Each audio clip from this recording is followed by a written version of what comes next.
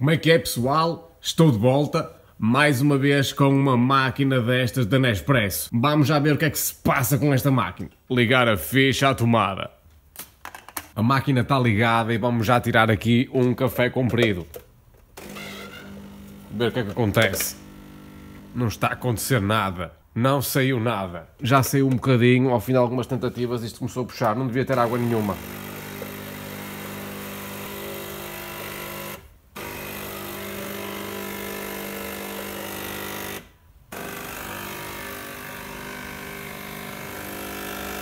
Então pessoal, o que está a acontecer com esta máquina é que esta máquina está a tirar cafés muito curtos mesmo quando eu carrego no botão de café comprido, reparem. Carreguei e... Agora está a tirar um completo. What the hell? Não. Mesmo assim, não sei. O botão de tirar café curto não tira nada e o botão de tirar café comprido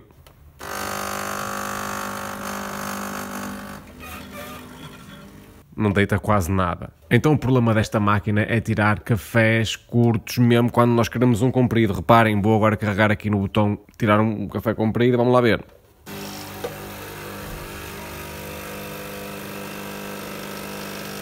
Não sai quase nada.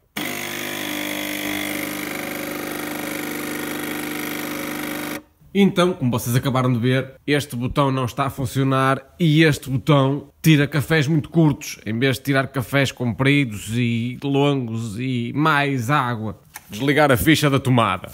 Então pessoal, eu agora vou-vos explicar como é que se resolve este problema muito rapidamente, isto não tem nada que saber. Antes de qualquer operação na máquina, não se esqueçam de tirar o recipiente, que é para não espalharem água por todo lado. Tirem também o tabuleiro da frente, cá está. Se tiverem alguma cápsula aqui dentro, pronto, já borrei tudo por todo lado. Já está tudo cheio de água por todo lado. Aquilo que eu não queria que acontecesse, acabou por acontecer e já está.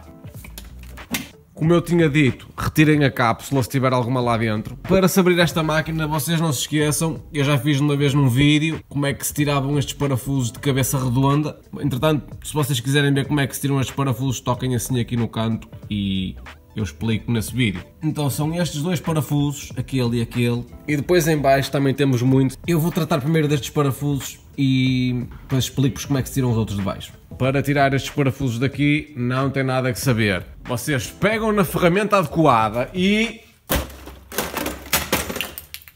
Tentam tirar o parafuso. Ainda não saiu. Podem ver que ainda está ali. Se calhar tem que usar uma chave com, com outro ângulo. Mas vamos tentar o mesmo. Nada. Não, este parafuso está mesmo, mesmo bem apertado. Continua. Ainda. Será que se começar por os de baixo é melhor? Estes parafusos estão bastante resistentes. Impressionante a qualidade desta máquina.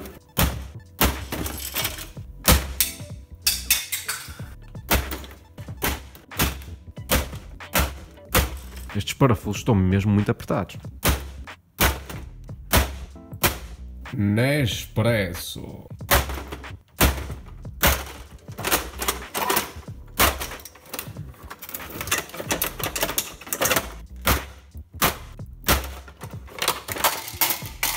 E pronto pessoal, facilmente tira a tampa daqui de lado e conseguimos ter logo acesso aqui a algumas partes. Mas o problema parece-me que não reside aqui. Vou ter que continuar a desapertar os parafusos.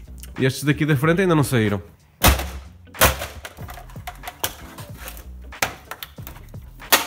Cá está, temos a máquina aberta e agora vou desapertar estes parafusos aqui para ficar com a placa exposta. Plástico. Então, exatamente como eu já previa. O problema está aqui nesta placa. Há aqui um componente que está estragado e eu vou-vos explicar como é que se resolve este problema. É extremamente simples, pessoal. Vocês só têm que pegar no ferro de soldar e um bocadinho de solda e soldar aqui neste pino. Se vocês soldarem como eu soldei agora, vocês vão ficar com a máquina a funcionar. A placa tem que ficar com este cobre de fora e assim toda amassada e partida, senão nunca mais irá funcionar. Vamos só ligá-la a ver se por acaso ficou a funcionar. Vamos lá. Para já não está a acontecer nada. Ligá-la. E não está a dar. Não dá nadinha. Significa que a reparação foi bem sucedida. Pessoal, grande abraço e até ao próximo vídeo.